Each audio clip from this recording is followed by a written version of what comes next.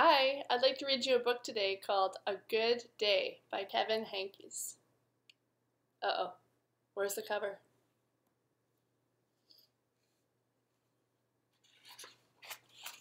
It was a bad day. Little Yellow Bird lost his favorite tail feather. Little White Dog got her leash all tangled up in the fence. Look at how she's feeling. Little Orange Fox couldn't find his mother. I wonder how he's feeling. And Little Brown Squirrel dropped her nut. But then Little Brown Squirrel found the biggest nut ever.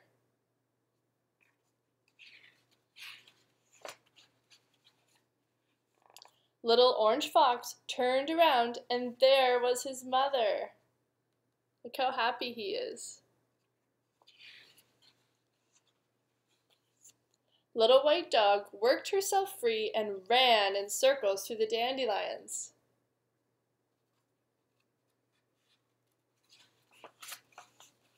And little yellow bird forgot about his feather and flew higher than he ever had before. And there's more.